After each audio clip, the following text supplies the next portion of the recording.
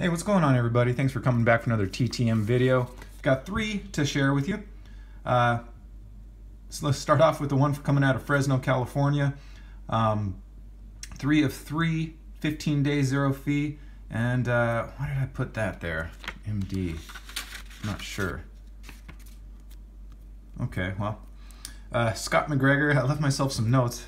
I don't know what it meant. Um, he got him here on the 1979 Topps.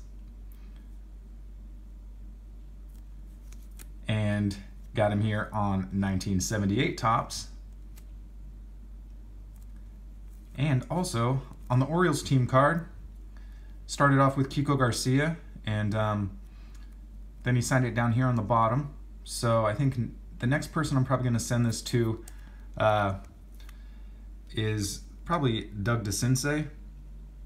Um, I know if Ken Singleton charges five. I'm not sure. I still want to send the Ken Singleton uh, Diamond King out.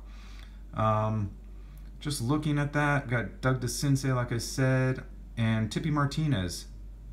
Definitely another signer. So there's a couple of choices there. Send it to both those guys. So uh, there you go, Mr. Scott McGregor. Thank you very much. Okay, next one. We got five out of three five days, zero fee, coming out of Brea, California. And um, everybody's gotten this guy before. He's such a great return. And we have Mr. Charlie Hough here on the 1979 Topps as well as the last one there, as you see, Scott McGregor. Now we've got Charlie Hough. Got him here on the 1986 Rangers Team Leaders card. Like that one a lot and of course couldn't do it uh, couldn't send one out without sending the diamond king out. I, this is the fourth time i've sent to charlie hough in the past like year and a half since i started. Um, and i hadn't sent the diamond king out. I was so surprised. I looked at my uh, little history there on the website and i was like geez what am i doing? I want to get all those vintage signed first but um, you know diamond kings are always the best. So signed two index cards for uh, Jeez, he's just he just loves us fans. He's too nice to us. All right. Last, but definitely not least, we got two out of one, 10 days, zero fee coming out of St. Petersburg, Florida.